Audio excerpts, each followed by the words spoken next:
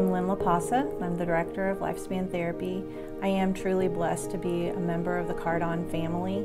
They are supportive, they facilitate growth, they acknowledge um, accomplishments of their team, but first and foremost, they really want to take care of the residents that we serve, and that's where my heart lies.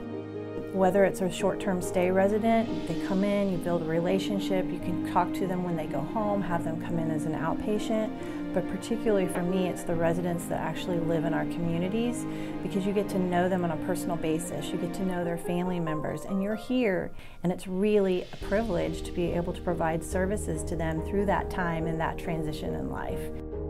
What I like about CarDon is I'm excited to go because they've given um, me a little bit of autonomy and the power or the ability to forge ahead with therapy services that might be different than have, have been utilized in the past.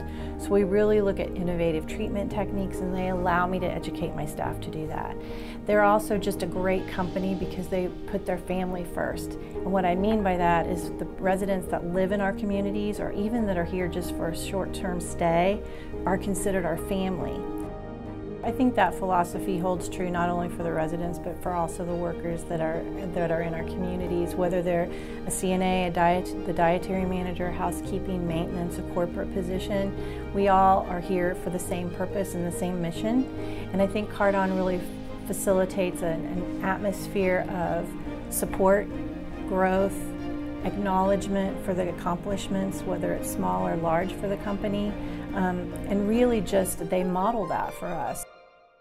The thing I love the most is that Dr. Moore, who's one of the owners, in any meeting that he starts, he always says, What are we here to do? And the answer is, We're here to take care of people. And that's really the mission or the philosophy in all of the communities. Our main goal is to take care of the people that have chosen us to be their environment to live in.